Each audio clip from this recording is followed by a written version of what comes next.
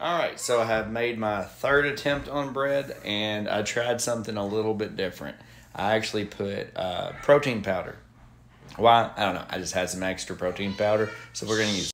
That's delicious in milk, so it's got to be delicious in bread. Okay, so Jessica refused to eat my last bread, so I thought, well, I'd make a bread that she liked. She picked it out. It's called uh, Disgusting Lemon Bread.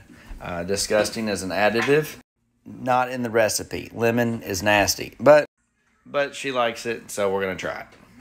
I have this one, uh, my first bread proofing in the oven, trying the new option with the Samsung um, oven here. It has a proofer, and then um, I'm gonna make this, uh, blend this cake up or bread up, and then uh, make that work. Okay, that does not look like bread. I was informed that this is more like a cake there's the lemon bread. That thing, mm, we'll see. But my bread looking pretty good. All right, so see you all in an hour. One hour later. Boom. Well, that looks not horrible. All right, so that's the lemon cake. And then this is my bread. All right, so we're gonna try out the Mama's Great bread slicer. Should be Daddy's Great tonight, but we're gonna call it Mama's Great. Try out my new knife.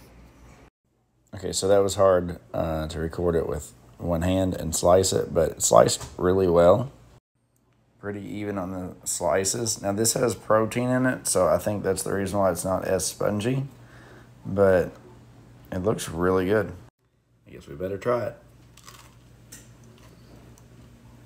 That's good. Well, I let her try it. She said she did not like it. So I cut a piece of her uh, bread, and we're going to see if she likes that. She says it's not great. So better luck next time. Chicken food it is.